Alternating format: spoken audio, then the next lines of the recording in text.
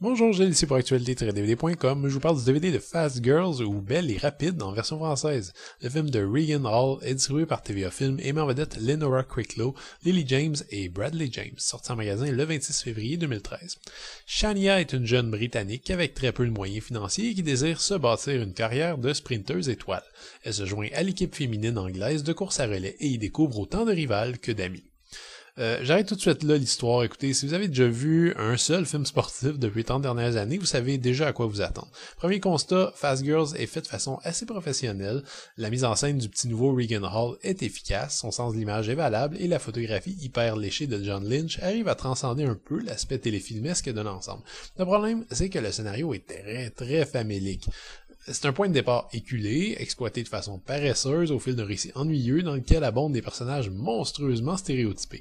Et ça, je pense que Regan Hall s'en est vite rendu compte. Il tente de sauver les pots cassés en boostant artificiellement le film. En gros, euh, il enchaîne des scènes de montage survitaminé sur une musique electronica pop efficace et accumule les ralentis et les gros plans éthérés qui soulignent la gloire de ses personnages. Ce genre de démarche est un peu douteuse, mais on a déjà vu des œuvres populaires excessivement divertissantes utiliser le même principe. Je pense par exemple à plusieurs films de Tony Scott ou Michael Bay qui exploitent ces effets sans vergogne. Mais Regan Hall n'a pas la même dextérité ni le même sens du rythme ou de la surenchère. Tout ça aboutit donc au résultat final, dont le principal défaut est de faire beaucoup trop penser à une publicité d'une heure et demie. Et ça, je vais vous dire, c'est le dernier clou dans le cercueil. Dès que je me suis rendu compte que Fast Girls était identique à n'importe quelle publicité aux accents sportifs de Reebok, Nike ou Red Bull, j'ai plus été capable de le prendre au sérieux et je m'attendais à ce qu'on me présente un produit à la fin de chaque scène. L'effet est assez hilarant. C'est dommage finalement pour le casting. Euh, si je peux rien dire de bon du scénario, à part qu'il est pas offensant et que les valeurs véhiculées sont bonnes, je dois admettre que le casting était alléchant. On retrouve euh, pas mal d'interprètes habitués aux séries de la BBC, euh, comme Lorena Cricklow qui jouait dans Being Human, Bradley James qui joue Arthur dans Merlin, ou Noel Clark qui, on le sait tous, jouait Mickey dans Doctor Who. Ce sont peut-être pas des Meryl Streep ou des Robert De Niro, mais ce sont des jeunes interprètes fort doués qui tentent tant bien que mal de donner un peu de profondeur à leur personnage.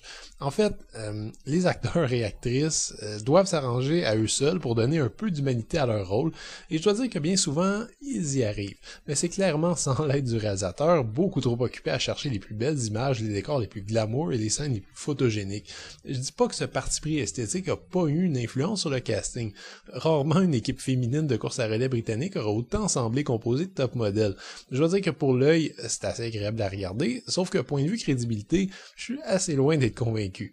Si vous regardez les Olympiques régulièrement, vous savez que regarder une épreuve de course à relais est aussi sexy que regarder un documentaire sur les jaguars. On peut apprécier la vitesse, les masses musculaires impressionnantes, mais il n'y a rien de très aiguichant non plus.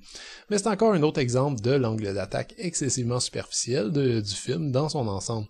Aucun rebondissement que vous ayez déjà prévu à l'avance, aucun cadrage que vous n'ayez pas déjà vu mille fois à la télévision. L'œuvre a même pas la décence d'offrir un aperçu crédible des coulisses d'un sport assez peu analysé au cinéma. Le DVD est présenté en anamorphique 2 par 35 avec piste audio en français ou anglais 5.1 et les sous-titres sont disponibles en anglais. La section des bonus semble consistante euh, à première vue, mais en fait est juste constituée d'une série de featurettes très courtes qui s'intéressent à différents éléments de la production. Ça m'étonnerait pas que ces featurettes aient d'abord été des spots promotionnels diffusés sur Internet. On s'attarde donc aux costumes, à l'entraînement des actrices, à la course à relais et au tournage de certaines séquences clés. L'ambiance semblait bonne, ce qui rend finalement ces segments vidéo plus agréables à regarder. Fast Girls est un drame sportif assez pauvre, merci. Il fait partie de ces innombrables films anonymes qui cherchent même pas à se distinguer du lot, euh, soit en étant excellent ou très mauvais. C'est un film profondément ordinaire, au scénario maigre et à la mise en scène inspiré directement du monde de la publicité.